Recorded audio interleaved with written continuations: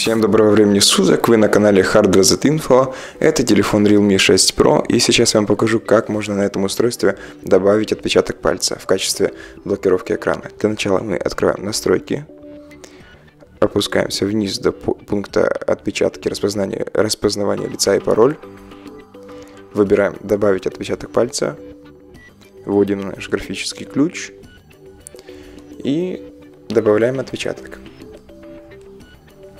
Прикладываем палец несколько раз, пока поле не заполнится.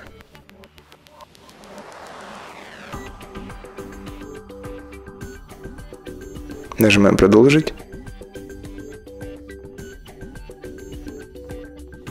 Еще раз нажимаем «Продолжить». И все.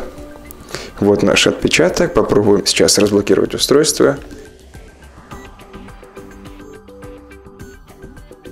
Как видите, все получилось. Так что спасибо вам большое за просмотр. Подписывайтесь на наш канал, если вам нравятся такие видео. И до скорых встреч. Пока.